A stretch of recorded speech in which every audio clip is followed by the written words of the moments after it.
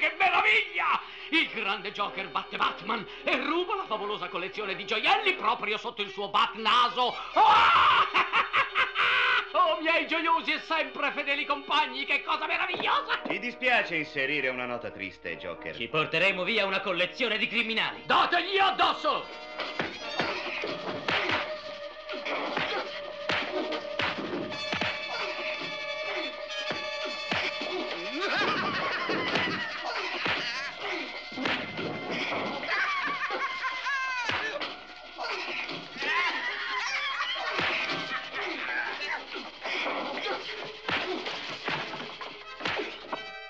Attenzione, Batman.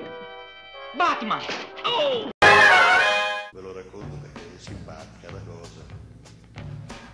Io niente, non sapevo neanche cosa fosse il teatro, facevo teatro. E allora finì lo spettacolo, ero in Russia e finì, cos'era pure, ero con la Magnani, facevamo la lupa. Finimmo lo spettacolo e tornammo in Italia. E c'era un mio amico col quale abbiamo compagnia legamo molto, era Carlo Reati, mi, telefonò e dice, vieni Rino, vieni, andiamo a pranzo insieme. Dico, vabbè, vengo volentieri, sì, perché no? Dico, dove? Cioè, vieni a Via dei Villini, dove io sto doppiando. Che stai facendo? Sto doppiando un film. Che è doppiare? Che, che te lo faccio vedere. Vieni a Via dei Villini, che allora c'era lo stabilimento, io presi e andai a Via dei Villini vado via dei Villini, poi andiamo a pranzo insieme. Vado via dei Villini e mi siedo nel salottino, c'era una porta a fianco, spessa, grossa, così, mezza aperta. E io parlavo forte, tranquillamente, come parlo adesso, con, con, con Carlo, non, non, avevo la preoccupazione di, di disturbare, di farmi sentire. A un certo punto vedo uscire una persona e dice, chi era che parlava? Era una donna. Chi era che parlava? Ero io, disturbato, chiedo scusa, però parlavo troppo forte. No, no, ma che fai, l'attore? Eh sì, sì, faccio l'attore. Lo faresti un provino con me? Eh, volentieri, sì. Vieni un po' qua. Vedi, questo è il giro. Qui c'è il foglio. Tu devi vedere queste battute Adesso ti passo il personaggio che è quello là, guardalo una volta, vedi cosa fa. Io guardai cosa faceva questo personaggio, ho letto queste battute. Adesso tu devi mettere in bocca a quello le parole che leggi lì. E feci questo programma. Blake, non capisci che sarà un divertimento per loro. Ti risparmierai almeno una dozzina di costole se dici a Jason le cose che sai. Come posso fare per convincervi a credere che io non so niente. Parlare? Ma allora non mi resta che fare quello che volete. Oh!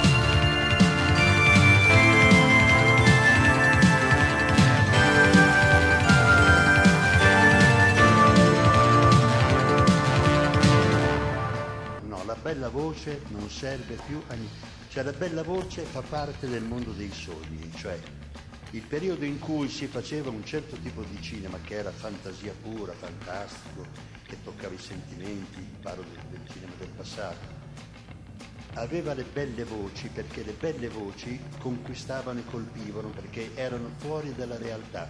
Cioè tutto quello che esulava dalla realtà aveva successo.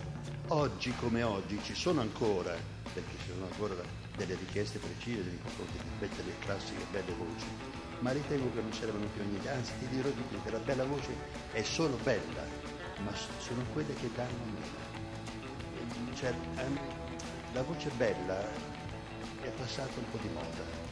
Cioè, la bella voce a me personalmente disturba. Se io sento la bella voce cambio canale, per esempio. Cioè, non, mi danno quasi fastidio. Trovo invece molto più importanti chi recita bene, chi sa dire, ecco, arrivare a scoprire con l'esperienza la verità. Cioè l'essere veri non è così facile come sembra. Se tu vedi la televisione, tu accendi il televisore e vedi queste ragazze, questi ragazzi che recitano, recitano loro, ma e, e recitano con la loro verità, quella di- della strada, non arrivano al di là del televisore. La verità è una conquista difficilissima. Arrivare a essere veri è la cosa più difficile che ci sia da parte dell'attore. Solo col tuo biglietto del cinema. Solo col tuo biglietto del cinema. Solo col tuo biglietto del cinema.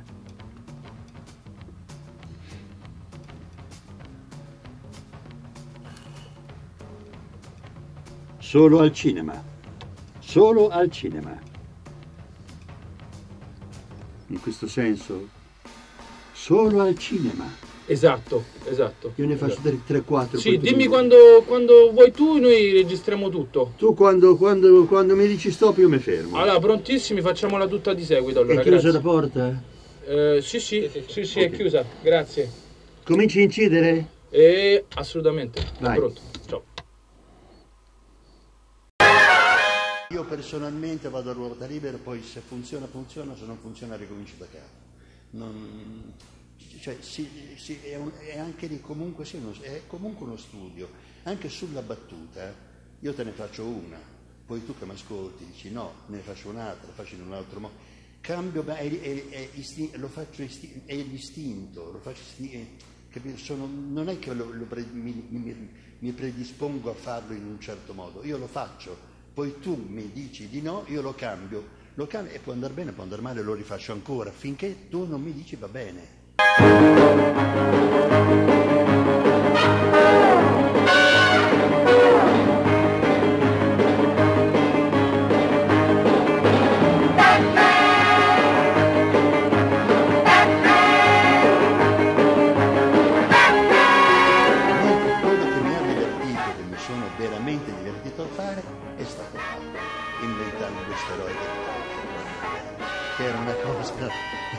Cosa fuori dalla realtà.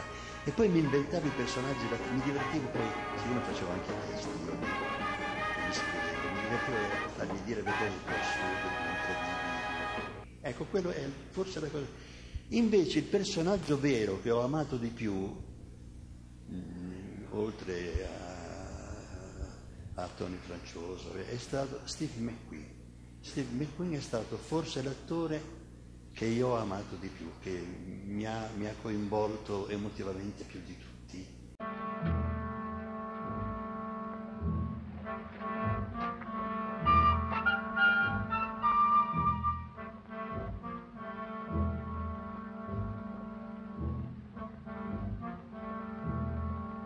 Hey! Via di lì!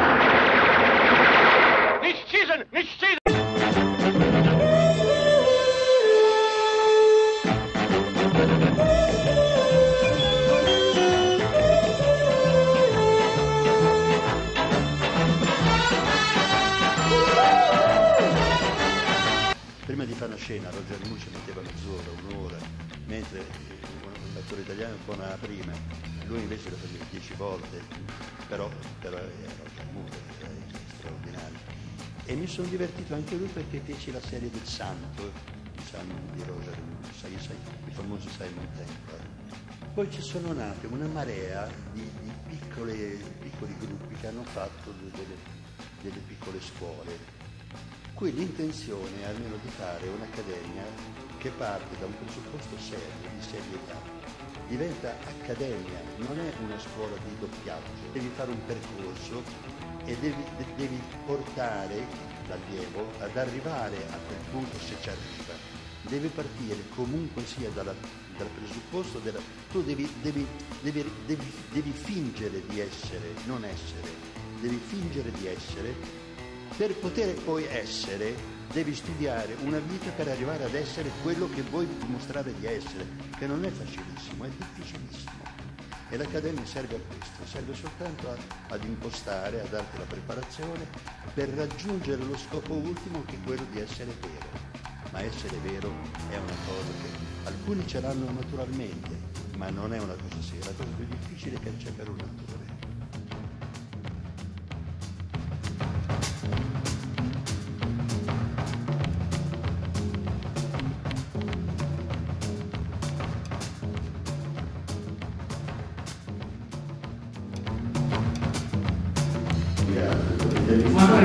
È stato fantastico. Non mi ricordo un cazzo. Era arrivato solo che Non mi ricordo un caso, un anno di mare. Cioè ragazzi, è pazzesco, mi ricordo il nome di Donatello e di